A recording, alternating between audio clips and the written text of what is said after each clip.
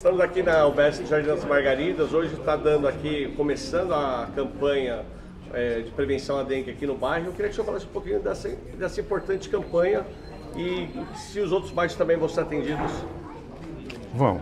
Nós estamos fazendo uma campanha de conscientização, chegando nas casas, explicando para as pessoas né, o risco né, que eles estão correndo, pedindo para eles fiscalizar a própria casa deles, né, para ver se a tampa da caixa d'água não está quebrada, para ver se não tem água acumulada em pneus no quintal deles, se não tem garrafas com água também dentro do quintal deles, né, para que façam esse trabalho de prevenção. E que passe isso também para os vizinhos, né, que todos, se cada um cuidar da sua casa, aí acaba o risco sendo menor.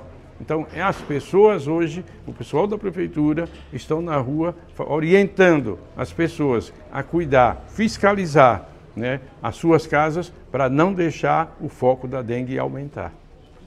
E o senhor pretende levar essa iniciativa para outros bairros também, Já foram feitos outros bairros, na verdade, né?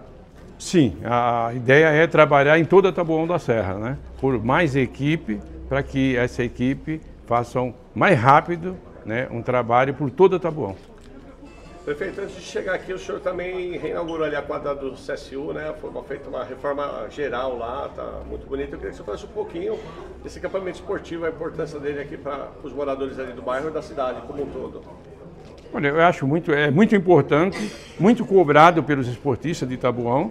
Né? O pessoal do esporte cobra muito, não só aquela quadra, como outras que estão paradas há muitos anos e a gente está reformando. Só para vocês terem ideia, nós estamos reformando agora seis quadras. Já entregamos hoje, entregamos uma, entregamos outra aqui do Salete e vamos, mais um poucos dias, vamos entregar a outra aqui embaixo da Liporaço e estamos terminando e entregando.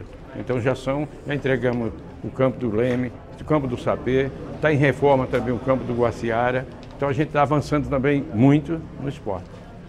Presidente, o senhor tem um, uma grande obra que vai ser realizada, que, segundo a, a sua assessoria, vai favorecer muito São Judas, que é a nova visão que o senhor tem da Regis Bittencourt, que hoje muda de nome. Qual a importância disso para o bairro de São Judas? Olha, é, é muito.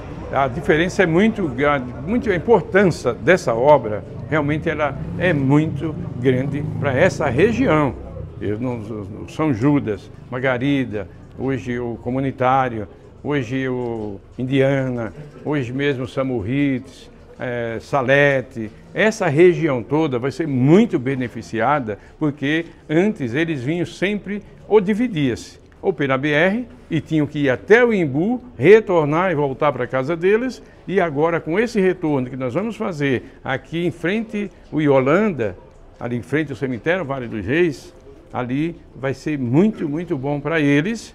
Não precisam mais ir no Embu, vão chegar perto, da, chegar e sair da, da, da casa deles mais rápido e vai melhorar até o trânsito aqui da Quisaimon Taquiute, que muita gente vinha aqui por São Judas, no Margarida, exatamente onde a gente está agora, eles vinham aqui pela Quisaimon, às vezes até a estrada do Campo Limpo, e agora não vai ser preciso mais fazer esse caminho.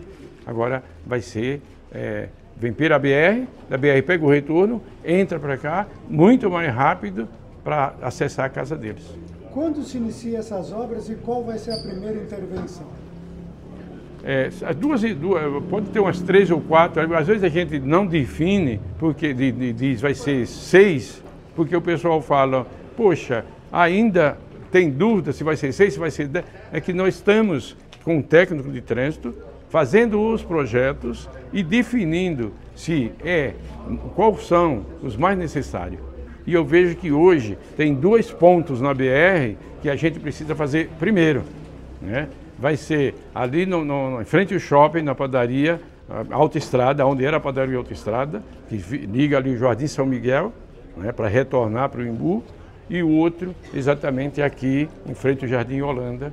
Esses dois vão ajudar a desafogar muito, muito o trânsito. Os outros são necessários né, também, mas esses dois são muito mais importantes.